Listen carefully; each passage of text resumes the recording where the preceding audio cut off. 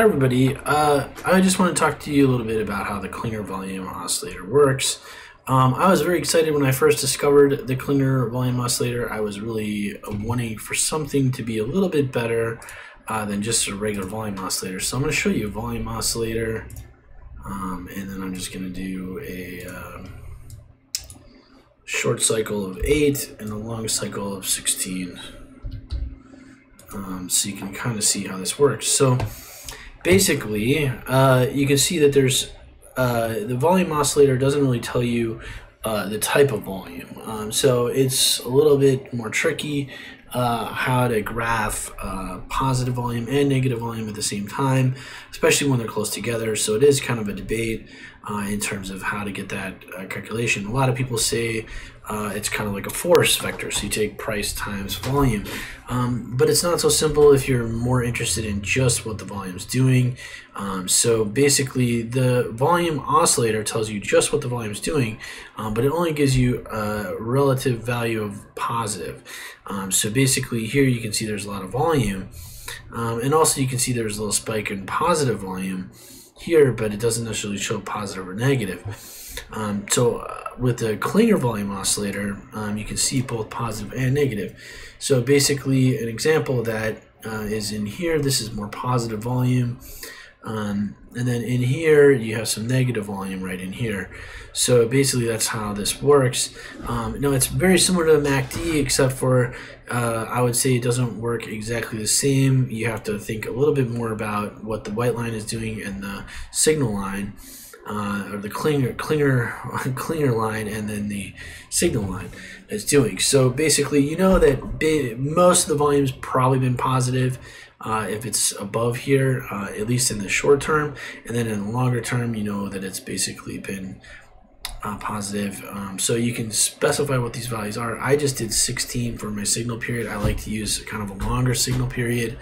Um, and then I use a short cycle of 8 and a long cycle of 16 and that's how I got these. Um, it works great for the minute chart. I just like uh, thinking about the sun.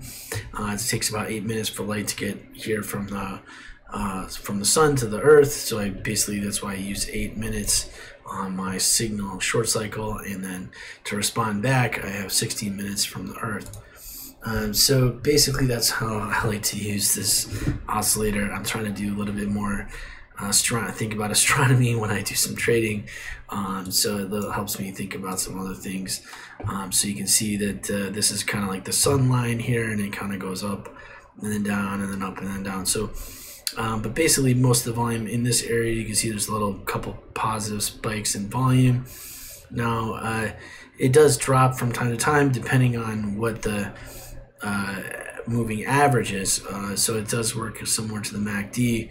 Um, and then, uh, so you can't always trust it exactly, but you can use these uh, histograms as well to help give you a better idea for what's going on. So uh, to kind of compare um, different so it's basically not, it's kind of a lagging indicator a little bit.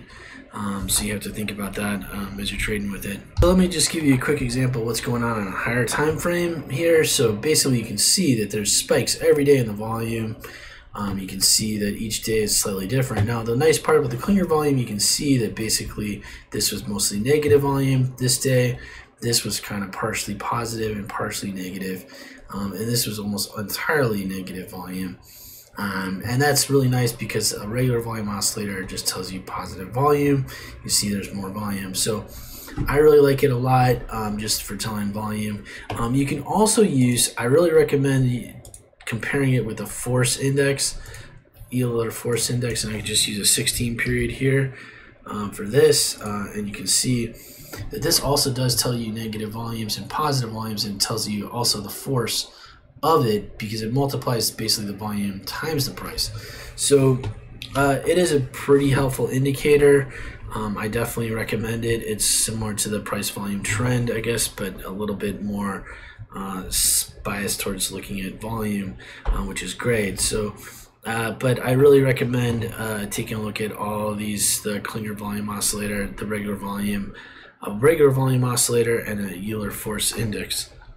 No, I'm sorry, there's actually one more one that I want to show you in addition to this Uh, it's called the Elder Ray in- Index, um, and it's super nice. Uh, it gives you kind of it's hard to see on on a bigger chart, but you can also see uh, that it does give you pretty good estimate of this negative volume in here.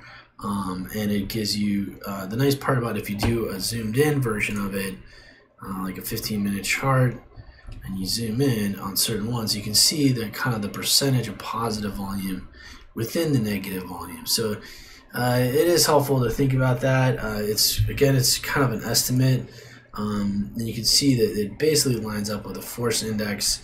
Um, so it's very similar to the force index, except for it shows these other uh, internal candles um, that can be helpful. Um, so uh, you can see here it shows it's a little bit off on some of these. You can see the force index doesn't really show some of the same things that the Elder Ray index does. But uh, it's very helpful uh, for thinking about the volume.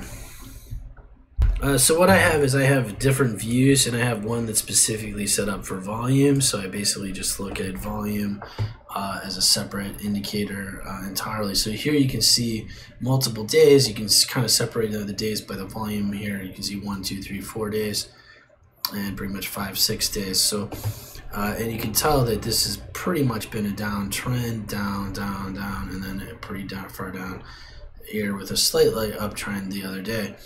Um, so it kind of tells you not only uh, like the price, uh, but it gives you a good concept of the downtrends. Um, and the nice part about uh, the uh, Klinger volume oscillators, you can see the force volume, force one doesn't really give you some of the negative spikes in here, so it's hard to see um, does kind of give you that. It gives you the impression that it's working with volume, but it's not uh, exclusively for volume. So that's why you have to use the Klinger volume oscillator.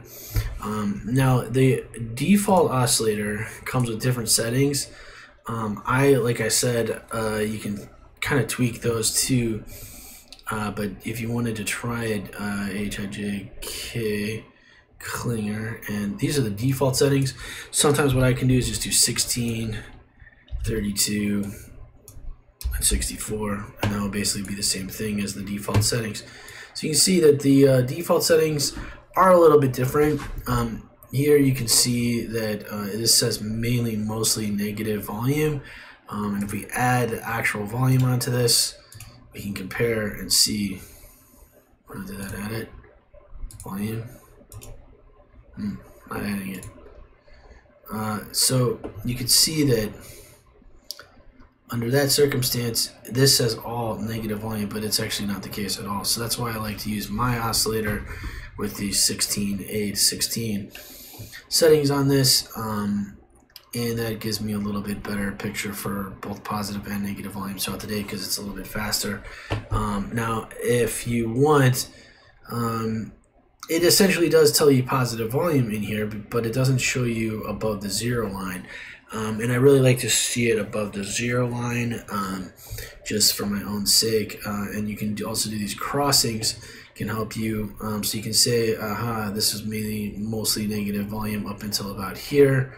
That's where the signal crossing was. Uh, now the signal crossing on this other indicator shows it slightly before, which is a little bit more accurate um, because it's a faster time, faster oscillator. That's basically why uh, you'd use a faster oscillator because you want to look at. But this does show the same, similar kind of time frames, but this shows all positive.